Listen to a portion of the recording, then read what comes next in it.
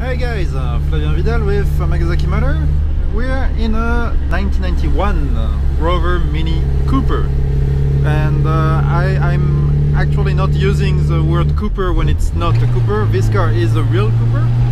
Uh, for a little bit, I'm gonna have to speak really loud because it's it's a noisy one. Uh, so yeah, in the late uh, late 90s, uh, no, late 70s, sorry about that. Cooper decided to stop. Oh shit, it's loud. Cooper decided to stop making uh, tuning minis for some reason. So the name Cooper was left out of all the early production Rover. Uh, but in 1991, the name Cooper was brought back, and here we are today. Actually had this car for a little while, the reason being that it had, well it's bumpy as hell, that it had a bad uh, head gasket and uh, re resurfacing, well this car, this one wasn't just resurfaced actually, rebuilding uh, the tires on eco tires, not super grippy at all. But uh, rebuilding a head uh, in Japan is actually a lot harder than it seems. Uh, what is something that is completely normal to do in the States and that you can do for like 70 or 80 bucks. Here they simply refuse to do the work uh, unless they rebuild the entire head.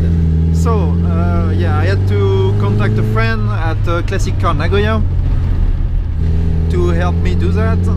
They couldn't do it themselves because uh, the head is in like a, uh, it's a steel head. It's not it's not a head that's in not aluminum so they can only resurface aluminum in house but they, they, they have someone who could do it. So this hand actually was entirely rebuilt.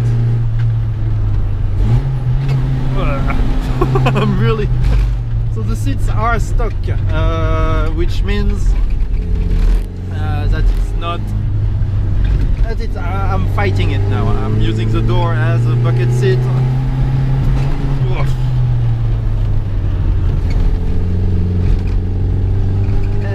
uh, yeah, I have to hang on my life to to drive that thing.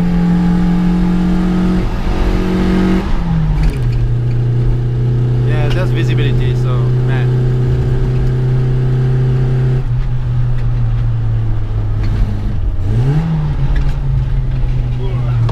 Sorry, it's hard to talk.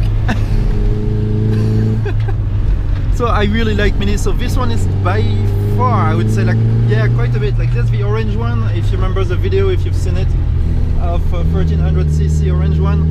Uh, the gear was popping out. Low end torque is not great. The gear was popping out in second. Uh, this one is probably faster than that orange one back then. It's a it's a properly fast mini. Uh, I guess the Cooper the Cooper tune or whatever they did to the car helps a lot but it's faster for example than the fuel injected 1994 one that I did last week. It's a it's a genuinely fast mini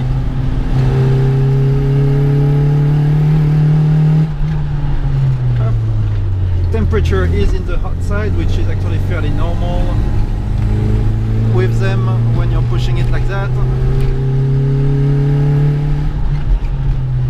It's not too hot yet so it will hold it. Like a minis usually yeah, keep an eye all the time on the temperature gauge.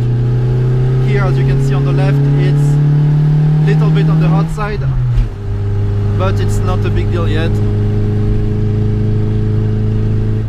When going uphill and attacking like that on more powerful mini yeah. they tend to ah, and we have more traffic. Yeah they tend to get a bit hot but that's uh, that's actually fairly normal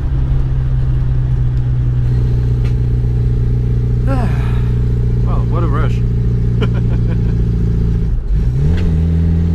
uh, so yeah, uh, what can I say about it? Uh, it's uh, yeah, it's a fast, it's a fast Cooper. It's it does well. Like your suspension are decent. Uh, they're not new, obviously, but they, they are good enough. And uh, yeah, it just it's a, it's a pretty good car. It's a pretty good car. Uh, what else had. Uh, the interior is pretty nice. You will see stock interior with stock seats. Uh, so yeah, it's not uh, not ideal if you're trying to push it like that. If you want to hold on to the car, but it does uh, it does the job. And yeah, I guess that's gonna be it for the first uphill part because I doubt usually crown driver do not let me pass. So yeah well I guess I'll have to wait a little bit. And uh, well we'll be back in a bit for the for the walk around of the car. I'll be right back. So just a little bit more driving some debris on the road. Like it's autumn is coming so yeah. There is some leaves and stuff on the road now. This is normal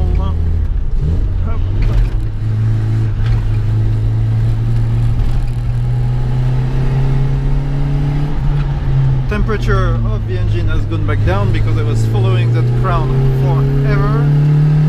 I finally managed to pass it.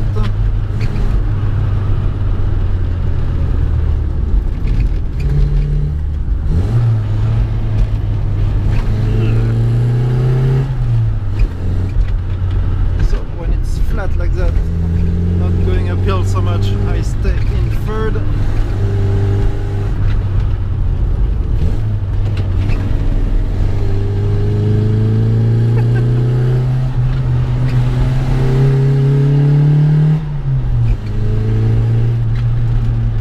Holy hell.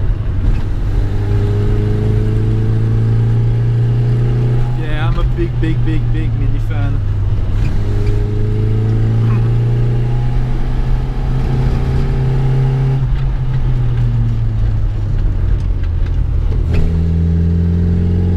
Really, really love those cars.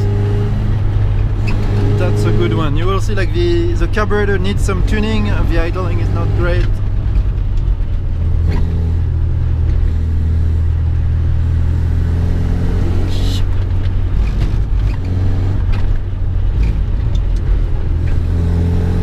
and I will stop here and this time we'll be back with the walk around of the car. I'll be right back. Alright, we're back with the walk around of the car. Uh, let's go ahead with the defects of the car first. Uh, so, first and foremost, the door here opens too much. Uh, the door hinge would have to be, like you see, it does not stop so instead it stops on the I think like if you just sit it like that it doesn't hit it doesn't touch it but uh, more than that or if there's a wind uh, like big wind or whatever uh, yeah that's what created that on this on the door thing uh, also little scratches here and there uh, because the paint is original so I've got the, the Cooper band there so original paint original like stickers and everything uh, we got a nice like Scottish flag there and some dog thing about miniature schnauzer. What's a schnauzer? Uh, I have no idea. Uh, it's those little British looking dog, I guess, and the owner was probably a fan. He has a complete package with the dog included, with the car. Uh, so, other things, details. So, as I said, like little small scratches, you, you know, you need to really polish the whole car. This one is going to ATL JDM, so you can be certain that any little scratches or anything like that will be taken care of. He's like a genuine master in making bodies look absolutely splendid. Uh, we sent him a VR4 that had like really, really bad paint. Uh, that was getting too old, you know, like the how can I say the the coating was faded uh, and stuff like that. He got it like he spends like hours and hours on it, and they got it back like it's it's new looking after a really really impressive job all the time when the, when they get like a little defects on the body. Uh, so last thing, this here and there. This is my fault. Uh, the bonnet was removed, uh, which is also why the gaps are really shitty. Uh, because uh, well, I did uh, I, I put it back myself, and I, I really suck at it. So I'll try to, to, to do it better later on. But uh, well, for now that will do. But yeah, I removed the bonnet, put it on the side, and I kicked it with my foot, and it fell down. This occurred. Really sorry about that. Uh, and that's gonna be it for the cosmetic defect of the car, I guess. Uh, some minor things like here, for example, those things all the time are really shitty and never fit, never, they always move. This one is no exception, as you can see, it's like moving around. So you can buy some new ones uh, on, on Mini Spare or whatever website you use for, for your Mini. It's really cheap, it's just a pain to fix, to to, to, to put it on there uh, not practical. But uh, yeah other than that that's pretty much it. Same other classic thing that moves all the time on minis. This thing around it. Okay the interior now. I, am really cold actually if I'm honest. Uh, it's not a great weather anymore in, uh, in Mount Rokko especially on top of Mount Rokko. So yeah it's a bit cold. Uh, original leather seats to be careful with the door and the window. Uh, original leather seats. Here you can see been like slightly taped here. There was some rip. Nothing much.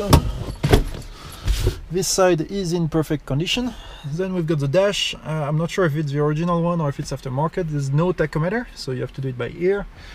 Up. And up. Uh, what else yeah, radio is not uh, the original Rover one. I'm not even sure it works. I would have to, to test it. Uh, otherwise, you can just plug it. It's not a big deal. Uh, motor detail steering, really small, really tiny, so needs a bit of uh, needs some arm muscle to move that. But uh, yeah, it does the trick really well. Uh, door panels are nice. Let's go check the trunk.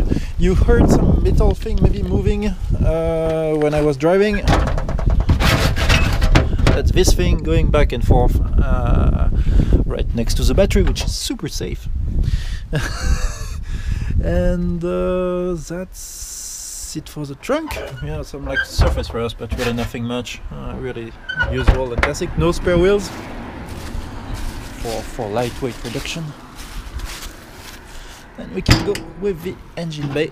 Up typical really classic. Nothing nothing special there head gasket as I said uh, has been changed just now. Like the head was entirely rebuilt. You can see that it's been shaved on top and bottom there. Still have the marks. Uh, you've got the 12A2 AG01 if you're looking for serial number of the engine. Uh, yeah that's about it Yeah, gaps are really, really crappy. Sorry about that. Uh, yeah, here some the chrome is a little bit uh, not great on the lights, so yeah, would have to be re-chrome to be real nice. But that's pretty much all. That's all we got. Rear seats.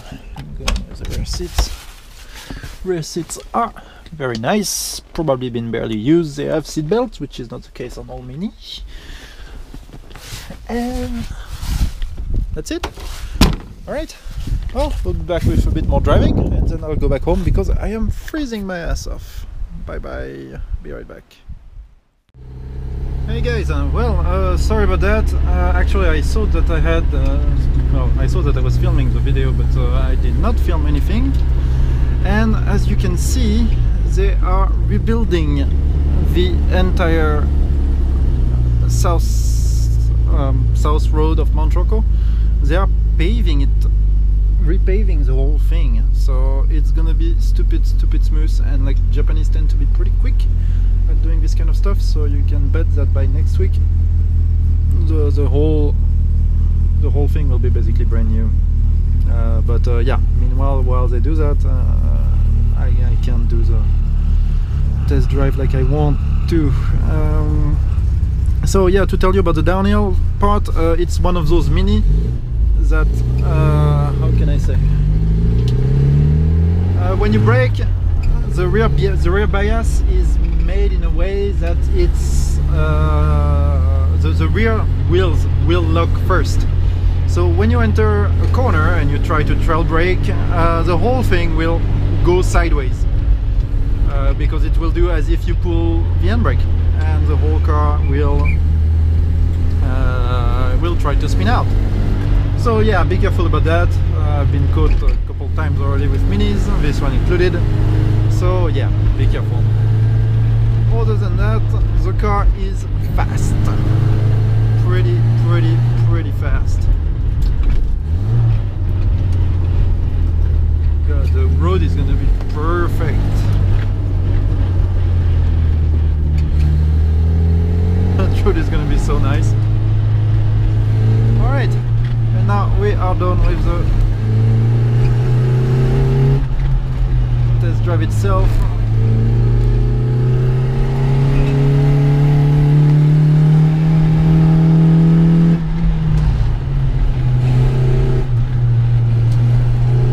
Eco tires as I said. So not a lot of grips, but minis have a natural massive grip. And they're so tiny that you can really use the entire road.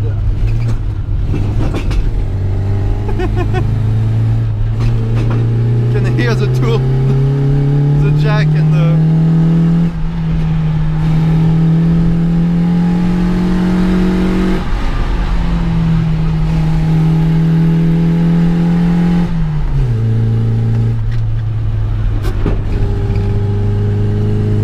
third gear.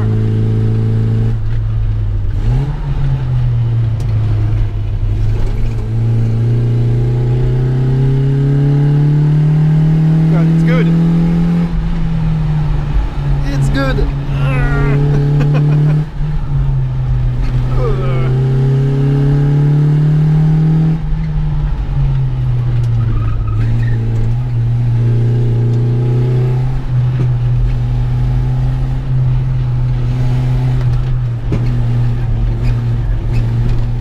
Allez, non, merde.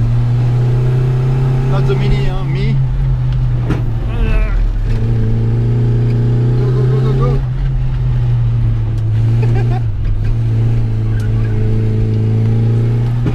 As I said last time, you can really use the whole road.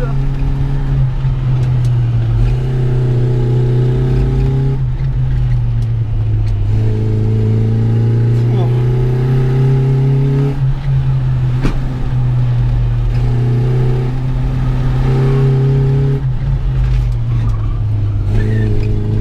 Allez, allez, allez, allez, allez, allez.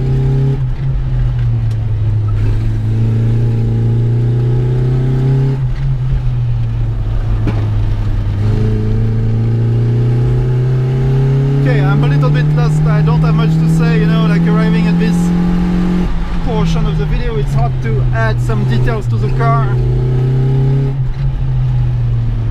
But uh, yeah, as you can see, it is very good.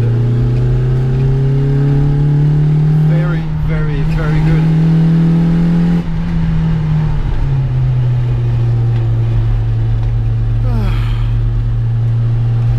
Alright, I guess that's gonna be it for the test drive. Uh, as usual, if you have any question, feel free to let me know in the comments. Uh, this car is gonna go to ATL JDM. They will do all the detailing, all the little things that the car needs. And uh, but uh, yeah, feel free to contact them or to contact me about it. Uh, I'm sure they will uh, be pleased to answer you. Uh, like any question you may have, they'll be happy to answer you. And yeah, you can follow us on Facebook if you want. Just search for Amagasaki Motor. I'm pretty responsive when it comes to questions on Facebook. So yeah, feel free to contact me there. And till next time, bye bye.